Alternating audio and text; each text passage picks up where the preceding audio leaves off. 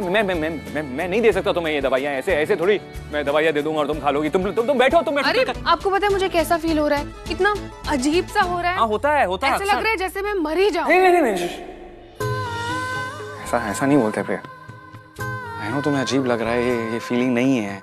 Hello दोस्तों आप latest promo video में देख पा रहे होंगे प्रिया कपूर का मन में अजीब अजीब सा ख्याल आ रहा है। जी हाँ दोस्तों प्रिया कपूर को अब प्रेग्नेंट हो चुकी है और उनको चटकदार खाना खाने का मन कर रहा तो कभी कुछ खाने का मन कर रहा जी हाँ दोस्तों, प्रिया कपूर बोल रही हैं, मुझे दवाई खानी है और राम कपूर मना करते हुए नज़र आ रहे हैं। जी हाँ दोस्तों, आने की प्रेगनेंट हो चुकी है और उनको अजीब अजीब ख्याल आता है अजीब अजीब सा मन भी करता है खाना खाने का या दवाई खाने का, उनका पेट दर्द होता है या सर दर्द होता है। जी हाँ दोस्तों, यही बात है और लेकर के राम कपूर काफ़ी खुशी में है कि अब वो डैड बनने वाले हैं। जी हाँ दोस्तों, आने वाले एपिसोड में पता चल जाएगा, राम कपूर राव कितने दिनों के बाद पिताजी बनेंगे जी दोस्तों तो धन्यवाद दोस्तों, वीडियो अच्छी लगे हो लाइक करें कमेंट करें, और भी लेटेस्ट प्रोमो देखने के लिए मेरे चैनल पर अगर नहीं तो चैनल को सब्सक्राइब कर ले और बेल आइकन का प्रेस ज़रूर ऑन कर लीजिएगा दोस्तों, ताकि जब भी लेटेस्ट वीडियो लेकर के आऊँ, उसकी नोटिफिकेशन आपको मिलता रहेगा धन्यवाद दोस्तों, मिलता है अगली वीडियो में, तब तक के लिए जय